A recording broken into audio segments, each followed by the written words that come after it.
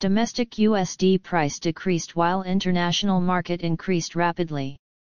The state bank increased the central exchange rate by 5 VND to 24,290 VND USD.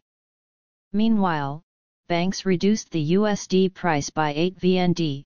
Vietcombank bought at 25,170 to 25,200 VND, sold at 25,499 VND, ACB bought at 25,200 to 25,230 VND, sold at 25,499 VND.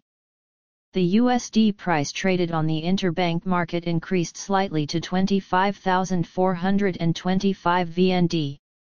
The free USD price decreased by 5 to 10 VND per dollar, down to 25,750 VND for buying, 25,850 VND for selling.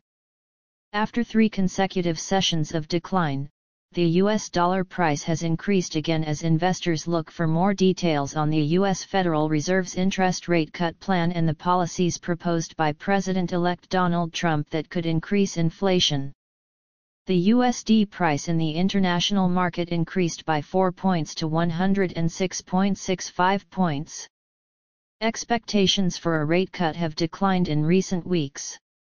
According to the CME FedWatch tool, the market is pricing in a 52% chance of a 25 basis point cut at the December meeting, down from 82.5% a week ago.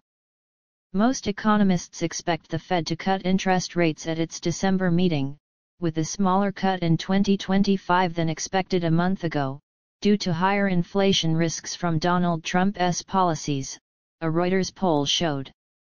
Meanwhile, Fed officials, including Chairman Jerome Powell, have indicated that the U.S. central bank is being cautious in its rate-cutting path.